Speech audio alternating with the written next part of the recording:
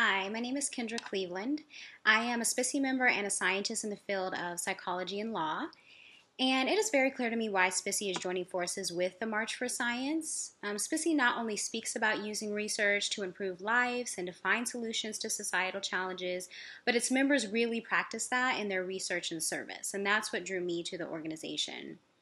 As a young scientist early in my graduate career, SPSSI sponsored me for a summer policy fellowship that exposed me to a variety of ways that science can be shared with policymakers, including through briefings, meetings with congressional staff, writing policy reports, and a number of other avenues. But the most important lesson that I learned is that you have to be an active participant if you want to raise awareness of the importance of science for policy. And so I fully support the mission of SPSSI and the partnership that it's pursuing with the March for Science, and I hope you will too.